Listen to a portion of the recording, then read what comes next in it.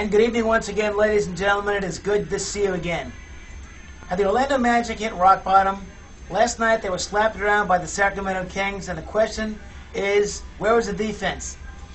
Nobody on the Magic played defense last night, and after the game, Dwight Howard was upset. By far the most upset he's ever been. So is Coach Van Gundy. The question is, what is the root of the problem? Well, I'll be brief. Lack of talent. You've got Dwight Howard, and he's surrounded by what? The ghost of Gilbert Arenas? Hedo Turkoglu? Jason Richardson and Brandon Bass? Sounds like the Clippers. So, if you want to blame effort, that's one thing. If you want to blame trades, it's one thing. But the Magic's problem is, around Dwight Howard, they've got a severe lack of talent. You don't believe me?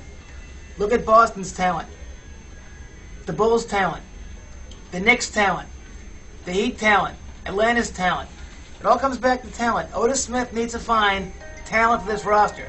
My phone's ringing, by the way. I'll get it later on. But anyway, Dwight's mad about the lack of talent on this team. You know what? He's 100% right, and the front office needs to fix that. By the way, speaking of fixing talent stiffs, today's stiff, the great Jim McIlvaine. Over and out. I'll see you guys tomorrow.